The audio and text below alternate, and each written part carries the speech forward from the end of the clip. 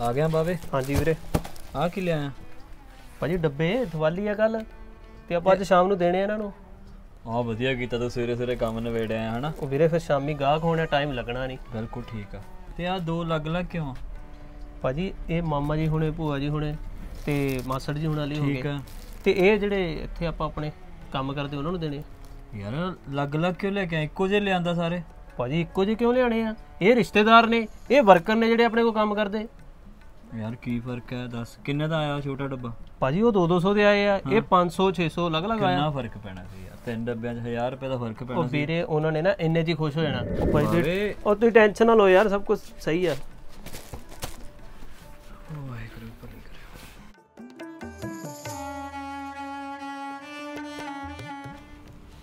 ਤਾਂ ਵਧੀਆ ਲੱਗ ਗਏ ਸਾਰੇ ਹਨਾ? ਹਾਂਜੀ ਵੀਰੇ। ਵਿਕ ਜਾਣਗੇ ਅੱਜ? ਭਾਜੀ ਵਿਕਣਗੇ। ਕਿਉਂ ਨਹੀਂ ਵਿਕਣਗੇ? ਚਲ ਵਧੀਆ ਵਿਕ ਜਾਣ ਤਾਂ ਸਤਿ ਸ਼੍ਰੀ ਅਕਾਲ ਵੀਰੇ ਸਤਿ ਸ਼੍ਰੀ ਵੀਰੇ ਸਤਿ ਸ਼੍ਰੀ ਅਕਾਲ ਵੀਰੇ ਸਤਿ ਸ਼੍ਰੀ ਅਕਾਲ ਸਤਿ ਸ਼੍ਰੀ ਅਕਾਲ ਵੀਰੇ ਸਤਿ ਸ਼੍ਰੀ ਅਕਾਲ ਅੱਜ ਤਿਕੜੀ ਇਕੱਠੀ ਆਈ ਕੀ ਗੱਲ ਲੇਟ ਹੋ ਗਏ? ਵੀਰੇ ਅਸੀਂ ਨਾ ਕੁਝ ਪਲਾਨ ਕਰ ਰਹੇ ਸੀ। ਬੱਲੇ ਦੀਵਾਲੀ ਤੇ ਪਲੈਨਿੰਗਾਂ ਚੱਲ ਰਹੀਆਂ ਨੇ ਹੈ? ਹਾਂਜੀ ਵੀਰੇ। ਚਲੋ ਸ਼ਾਬਾਸ਼ ਅੱਜ ਕੰਮ ਕਰ ਲਓ। ਅੱਜ ਨਾ ਲੇਟ ਹੋ ਜਾਣਾ ਤੁਸੀਂ ਠੀਕ ਹੈ? ਕੋਈ ਨਾ ਵੀਰੇ ਅਸੀਂ ਘਰੇ ਕਹਿ ਕੇ ਹੀ ਆਏ ਹਾਂ ਕਿਸੇ ਲੇਟ ਆਵਾਂਗੇ ਅੱਜ। ਚਲੋ ਸ਼ਾਬਾਸ਼। ਚਲੋ ਲੱਗੋ ਕੰਮ।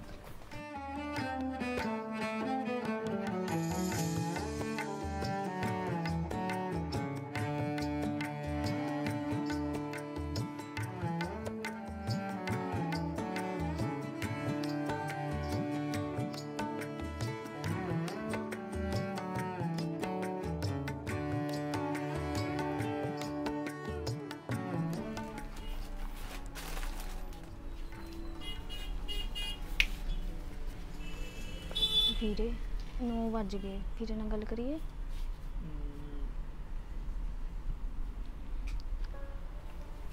ਵੀਰੇ 9 ਵੱਜ ਗਏ। ਅਸੀਂ ਜਾਈਏ ਘਰੇ? ਅੱਜ ਟਾਈਮ ਦਾ ਪਤਾ ਨਹੀਂ ਲੱਗਿਆ ਹਨਾ ਕਸਟਮਰ ਸੀਗੇ। ਹਾਂਜੀ। ਜਾਣਾ ਘਰੇ ਜਾਣਾ? ਹਾਂਜੀ। ਆ ਕੋਈ ਨਾ ਤੁਸੀਂ ਚੱਲ ਜਾਓ। ਤੇ ਸਵੇਰੇ ਫਿਰ ਆਓਗੇ? ਵੀਰੇ ਆ ਤਾਂ ਜਾਵਾਂਗੇ ਪਰ ਤੁਸੀਂ ਕੱਲ ਸਾਨੂੰ ਜਲਦੀ ਭੇਜ ਦਿਓ। ਜਲਦੀ ਅੱਗੇ ਵੀ ਆਪਾਂ ਜਲਦੀ ਹਾਂ ਹਾਂਜੀ। ਵੈਸੇ ਵੀ ਦੀਵਾਲੀ ਦਾ ਤਿਉਹਾਰ ਹੈ ਹਨਾ? ਹਾਂਜੀ।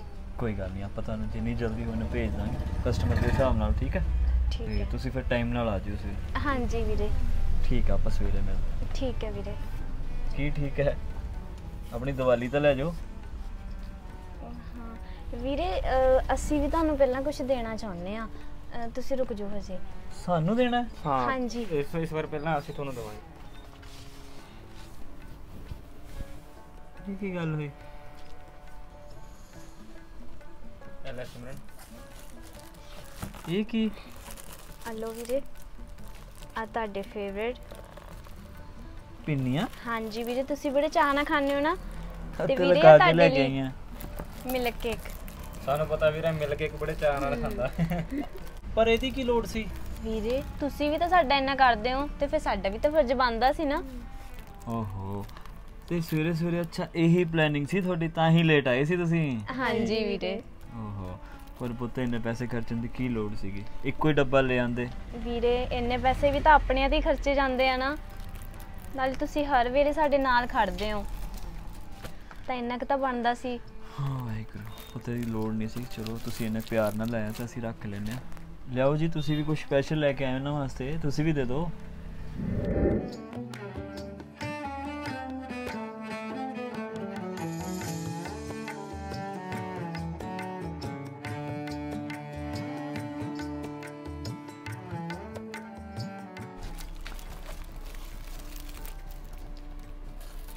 ਆ ਲੈ ਸਨੀ ਆ ਤੇਰਾ। ਆ ਸਿਮਰਨ ਤੇਰਾ। ਥੈਂਕ ਯੂ ਵੀਰੇ। ਆ ਨੇਹਾ ਤੇਰਾ। ਥੈਂਕ ਯੂ ਵੀਰੇ। ਰੁਕੋ ਕਿੱਥੇ ਚੱਲੇ ਹੋ? ਇਹ ਤਾਂ ਹੋ ਗਈ ਮਠਿਆਈ ਤੁਹਾਡੀ ਠੀਕ ਹੈ? ਤੇ ਆ ਤੁਹਾਡਾ ਦੀਵਾਲੀ ਦਾ ਬੋਨਸ। ਭਾਜੀ ਇੰਨਾ ਹੀ ਬਹੁਤ ਹਾਂਜੀ ਵੀਰੇ। ਨਹੀਂ ਨਹੀਂ ਤੁਸੀਂ ਸਾਡਾ ਪਰਿਵਾਰ ਹੋ। ਆ ਲਓ ਇਹ ਬਹੁਤ ਵੱਡਾ ਤਿਉਹਾਰ ਹੈ ਠੀਕ ਹੈ? ਤੇ ਖੁਸ਼ੀ ਖੁਸ਼ੀ ਮਨਾਉਣਾ ਚਾਹੀਦਾ। ਬਸ ਇਹ ਇੰਨੀ ਵੀ ਖੁਸ਼ੀ ਨਾ ਮਨਾਇਓ ਕਿ ਸਵੇਰੇ ਛੁੱਟੀ ਕਰ ਦਿਓ। ਨਹੀਂ ਵੀਰੇ ਆਵਾਂਗੇ ਅਸੀਂ ਸਵੇਰੇ। ਟਾਈਮ ਨਾਲ ਆ ਜਾਓ ਠੀਕ ਹੈ। ਆਪਾਂ ਇਹ ਤਾਂ ਮਠਿਆਈ ਤੁਸੀਂ ਘਰ ਦੇ ਵਾਸਤੇ ਲੈ ਜਾਓ ਸਵੇਰੇ ਆਪਾਂ ਇਹ ਹੋਰ ਮਠਿਆਈ ਲਿਆ ਕੇ ਇੱਥੇ ਵੀ ਖਾਵਾਂਗੇ। ਠੀਕ ਹੈ ਵੀਰੇ। ਠੀਕ ਹੈ ਠੀਕ ਚਲੋ ਬਤ ਧਿਆਨ ਨਾਲ ਜਾਇਓ। ਸਨੀ ਇਹਨਾਂ ਨੂੰ ਛੱਡ ਦੀ ਘਰੇ। ਹਾਂਜੀ ਵੀਰੇ ਮੈਂ ਛੱਡ ਆਉਂਗਾ। ਵੀਰੇ ਸਤਿ ਸ਼੍ਰੀ ਅਕਾਲ। ਸਤਿ ਸ਼੍ਰੀ ਅਕਾਲ।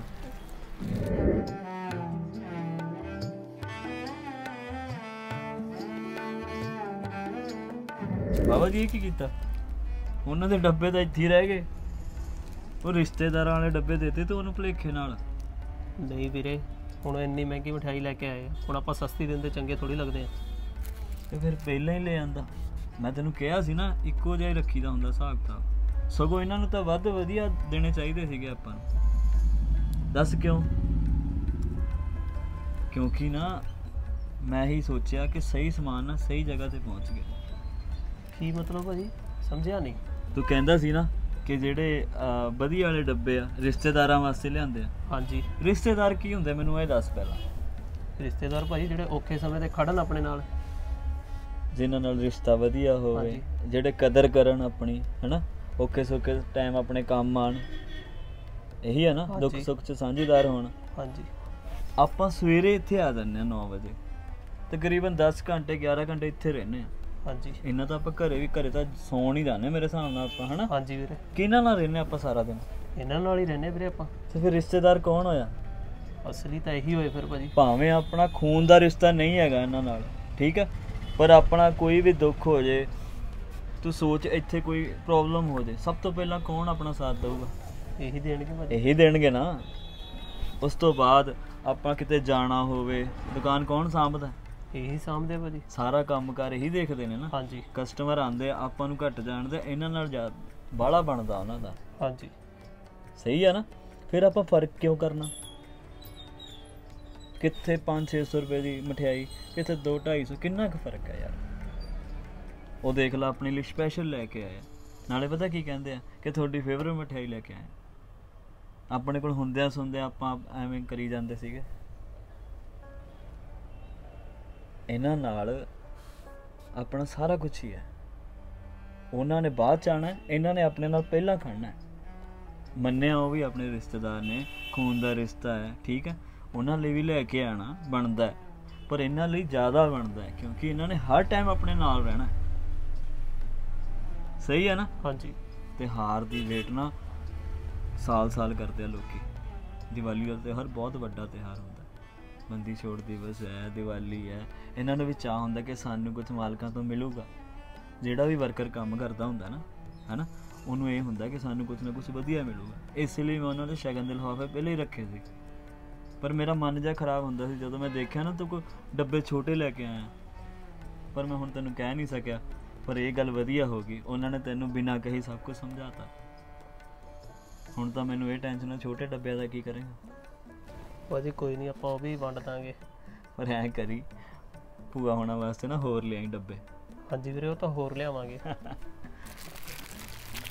ਚੱਲ ਆ ਰੱਖ ਲੈ ਤੇਰਾ ਫੇਵਰੇਟ ਮਿਲਕ ਕੇਕ ਲੈ ਕੇ ਆਏ ਵਿਚਾਰੇ।